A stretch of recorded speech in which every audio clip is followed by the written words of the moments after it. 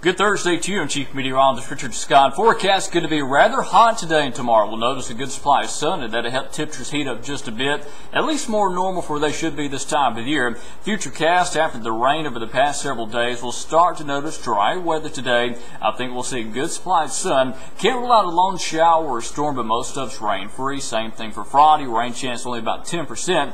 As for the weekend plan, Saturday looks like an upper level disturbance will move in from the northwest. That'll bring a good chance for scattered storms. Now, it won't rain all day for Saturday, but have the rain gear handy. I think you may need it for our Saturday, even Sunday plans. Rain chance the highest over the weekend on Saturday at about 50%, but it comes down some on Sunday.